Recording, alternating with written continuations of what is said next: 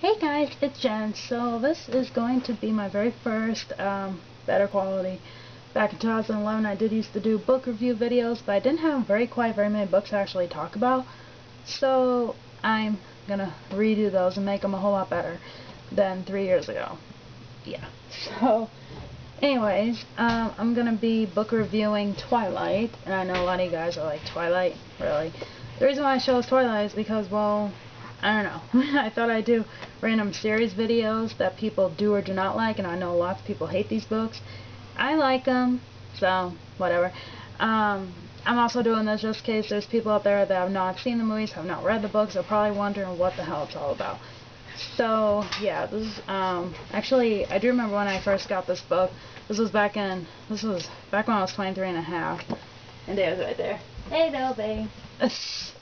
Anyways. I thought I'd do a really quick video, sorry babe. um, but anyways, Twilight. So, yeah, as you can see, if you guys have not read the books, what's up with the covers as well. This is Edward's um, pale like vampire hands holding an apple. If you guys have seen the movie, you pretty much know what part that is.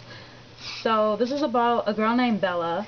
Um, she's from She's from Phoenix, Arizona. She moves to stay with her father in Forks, Washington.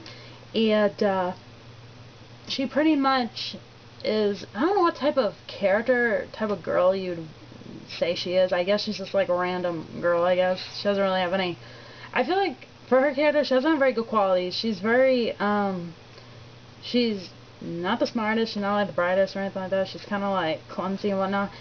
She kind of reminds me of myself, I guess. I don't know, like the quiet type. so, sure. But, um, you know, she moves there. She meets Jacob, and that's cool.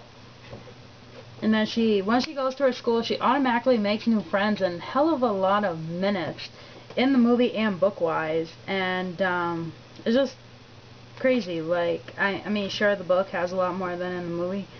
But it's just so random because she automatically makes, like, five or six new friends on like the first day of school. Like on my first day of high school, I didn't even make like two. So that's really random. But um, one of her friends, um, I don't know if it was Angela or Jessica. I think it was actually both of them.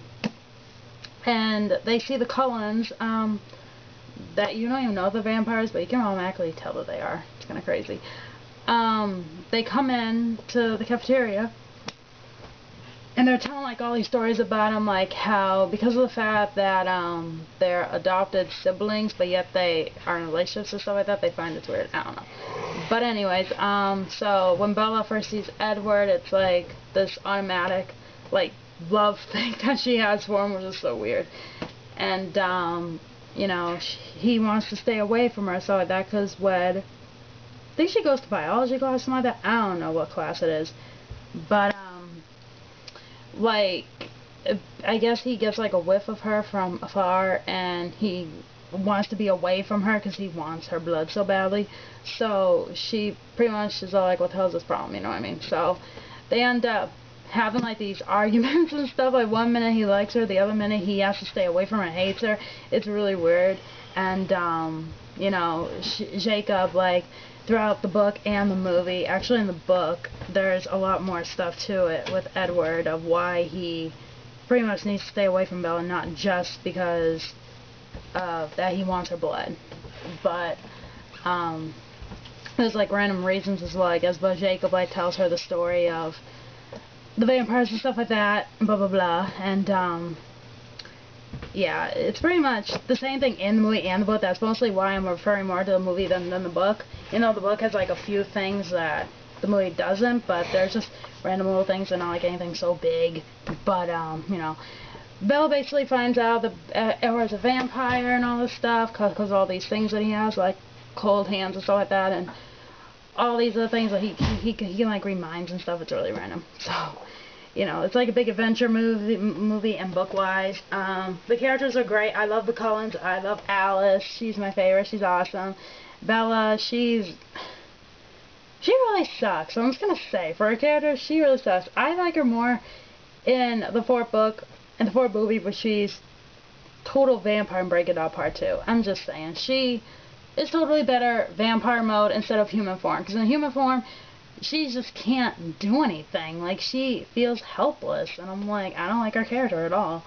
I mostly like Alice and Renesmee and Edward. You know, you know, Ed, Edward is kind of I don't know. He's the sparkly thing. I'm sorry, Stephenie Meyer, but you know, you could have shown us something better than just a sparkly vampire. I mean, I know you really wanted to make them more modern to this day, but girl, you know, you should have done more than just sparkly vampires. We do not need sparkly vampires. If they can't drink blood from humans, they can at least do something else. I mean, I know they, and, and but they drink the blood of animals, but whatever.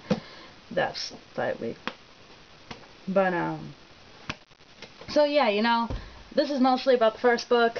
I loved it. I remember I first, um, when I first watched the, the trailer, was right when I was reading halfway throughout the book, and I'm like, did they just say the movie of Twilight? And I was reading, I think, I don't remember what page I was reading. I think I was literally halfway through the book, and I'm reading it, and they say the trailer, and they show the characters, and exactly in my mind was what I was thinking they looked like from After's Mode. I'm like, this is what I'm reading, what the hell? really weird. So anyways, um, yeah, it's about for Twilight, the first book. Um, gonna do New Moon next sometime. But yeah, you know, it's really, I really loved the first book and the first movie was pretty cool.